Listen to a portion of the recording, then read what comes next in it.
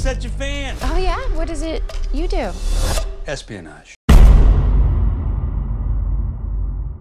Comunidad, por fin pude ir al cine y ver Argyle. Y Santa Madre de Dios, solo hay una manera de decirlo. Esto es una completa pérdida de tiempo y de dinero. Y antes de decirles por qué, solamente quiero aclararles que fui al cine con la única intención de ver una peli palomera, una peli dominguera. No fui al cine con la intención de ver algo espectacular, ni siquiera pensé desde que vi los trailers que esta película sería una buena película. Les juro que solamente fui porque quería comer palomitas de maíz y mi icy sabor limón y cereza. Eso era todo, porque desde los trailers Argyle prometía que sería una película boba de esas de acción para desconectar el cerebro, con un elenco repleto de estrellas y una historia que parecía que no se tomaba a sí misma demasiado en serio. Algo así como Tren Bala con Brad Pitt, que no es una excelente película, pero es lo suficientemente entretenida para pasarla bien y comer palomitas. Así que eso es lo que quería, una película para pasar el rato. Y una vez más, Santa Madre de Dios, esto es basura. Les juro que ver dos perros olerse el trasero en el parque es mucho más divertido que ver esta película. Pero quizá lo que más me molestó es que todo esto es un engaño. Y no solo por lo que nos enseñaron en el tráiler, desde el póster. Vean este póster. En medio de aquí podemos ver la cara de Henry Cavill con el gato y Dua Lipa a su lado dándonos a entender que la historia gira alrededor de estos dos. Y luego, un poquito más atrás, ya podemos ver a Bryce Dallas Howard, a Sam Rockwell, a John Cena, a Brian Cranston, a Samuel L. Jackson y a Catherine O'Hara que seguramente recuerdan de mi pobre angelito. Bueno, pues resulta que Henry Cavill no aparece más de 10 minutos en la película y Dua Lipa quizá 5. Incluso podría decir que menos de 5 minutos. John Cena está tal vez 3 minutos. Samuel L. Jackson no solamente aparece menos de 3 minutos, sino que además no tiene nada que hacer dentro de esta historia. Les juro que lo ponen 5 veces viendo un partido de básquetbol en una silla. Sí, hay cinco escenas donde Samuel L. Jackson está sentado en una silla viendo un partido de básquetbol. ¿Por qué tratarías de engañar a la gente de esta manera con tu póster y con tu tráiler? ¿Por qué quisieras hacerle creer a la gente que Henry Cavill y Dua Lipa son los protagonistas de esta historia? Ah, claro, para que la gente vaya a ver esta mugrosa y asquerosa película. No puedo entender cómo los que hicieron esto son capaces de engañar a la gente, pero no son capaces de escribir una buena película o de hacer una buena película. Si ya tienes a Henry Cavill y a Dua Lipa en la película, pues ¿por qué no les das el protagónico? Y así no tendrías que engañar a nadie. Así que, como ya se habrán dado cuenta, los protagonistas de esta cochinada son Sam Rockwell y Bryce Dallas Howard. Y la verdad, no son muy agradables. Y es una pena porque Sam Rockwell hace lo que puede con lo poco que le dan. Pero Bryce Dallas Howard parece que no sabe actuar, es insoportable, no hay ninguna química entre estos dos actores. Y les juro que es mucho más agradable recibir un balonazo en la ingle que ver la actuación, entre comillas, de Bryce Dallas Howard en esta película. Miren, hay una secuencia al inicio de un tren, secuencia que por cierto dura como 10 minutos, en la que esta mujer solamente hace eh, uh, ah", así por 10 minutos. Y eso no es lo peor, ojalá eso fuera lo peor. Lo peor es que todo lo que sucede aquí es estúpido. No les miento, no hay nada que se pueda rescatar, nada funciona, ni siquiera la ropa. Yo de verdad me pregunto, ¿cómo es posible hacer una película de 200 millones y que ni la ropa funcione?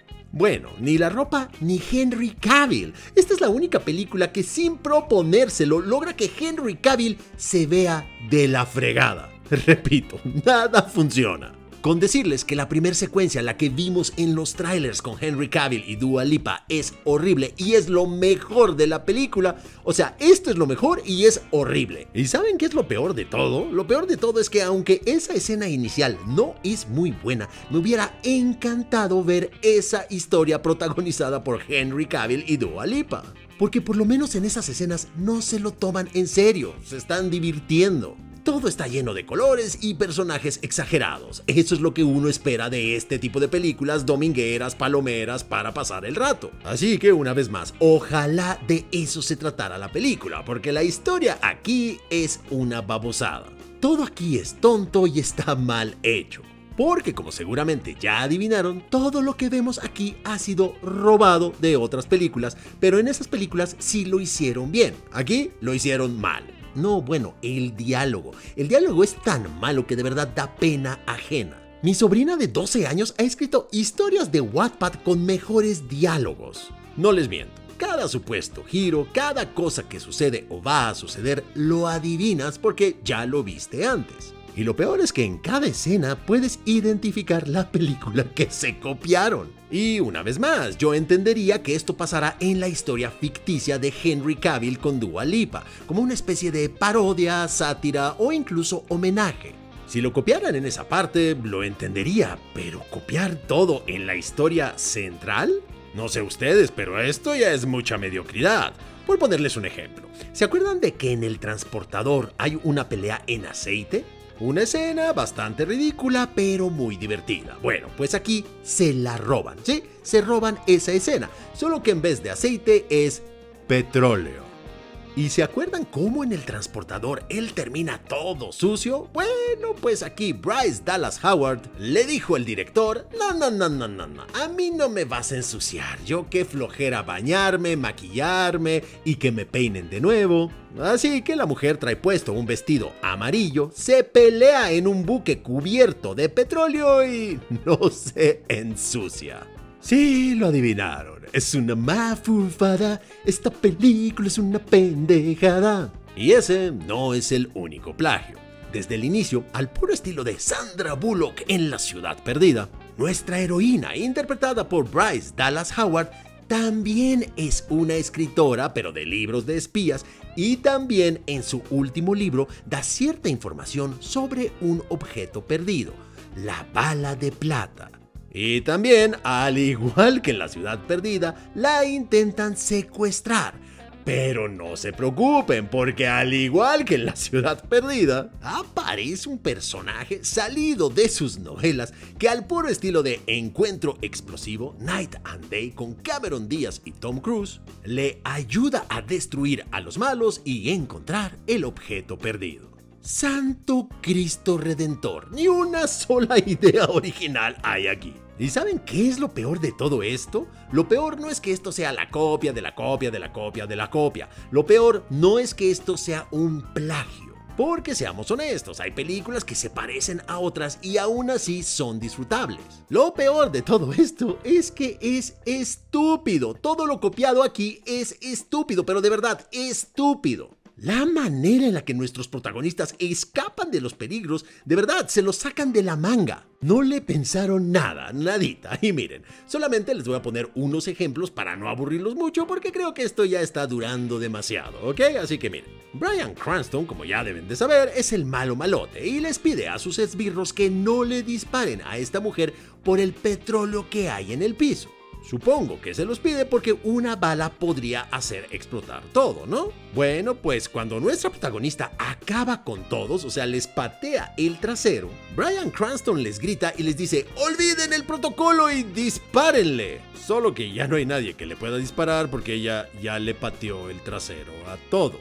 Y esto pasa no una, sino un montón de veces. Por ejemplo, hay otra escena llena de humo de colores que seguramente vieron en el tráiler. Es una escena en la que no sé por qué, a pesar de todo ese humo que no deja ver nada, nuestros protagonistas sí pueden ver y sí pueden disparar. Pero los malos no pueden. Bueno, sí sé por qué, porque los que escribieron esto son idiotas. Pero bueno, después de que nuestros héroes en esa escena acaban con todos, Brian Cranston grita, aprieten el botón para sacar todo ese humo. O sea, ¿me estás diciendo que todo este tiempo tuviste un botón para extraer el humo? Y entonces todos podrían ver a nuestros héroes y podrían dispararles y no lo apretaste? Les digo, los que escribieron esto son idiotas y a eso hay que sumarle una escena en la que Sam Rockwell puede dispararle a Brian Cranston, lo tiene ahí y no le dispara. O tonterías como si esta organización ya sabe que nuestra heroína va a subir al tren al inicio, ¿por qué no secuestrarla en su casa antes de que suba al tren? Pero quizá lo que me pareció más extraño de toda esta película es una escena en la que primero vemos a nuestros protagonistas en Italia con Samuel L. Jackson, ella sigue pelirroja, y en la siguiente escena se ha cortado el pelo, se lo pintó de amarillo y se puso un vestido dorado. Igualito el vestuario y el peinado a Dua Lipa en la primera escena. Y les juro que sigo sin entender cuál fue la intención. ¿Para qué hicieron eso? Quizá fue para decirnos a todos que Bryce Dallas Howard es igual de guapa que Dua Lipa. No lo sé, este será un misterio muy misterioso. Pero comunidad, me encantaría saber qué piensan ustedes sobre esta película, si es que ya la vieron, y sobre todo qué calificación le pondría. Yo creo que esta es una película llena de excesos innecesarios. Escenas de acción como la del humo de colores que duran más de 10 minutos en las que no podemos ver la acción porque el humo lo tapa. Tampoco creo que era necesario más de 2 horas y 20 para contar esta estúpida historia. Y creo que al final tenemos mucho estilo, pero muy poca sustancia. Esta historia se pudo haber contado en 10 minutos. No hay nada de carnita. Pero quizá lo peor de todo esto es el desperdicio, no solamente de los 200 millones que costó la película, que no los vi en ningún lado, de verdad no sé cómo costó estos 200 millones, pero el desperdicio de talento, porque de verdad aquí hay personas talentosas. Y tenerlas de extras no solamente me parece un desperdicio, sino una grosería para esas personas. Por eso para mí esto es un Christoph vomitando un menos 20. Si así va a estar el año, que Dios nos agarre confesados.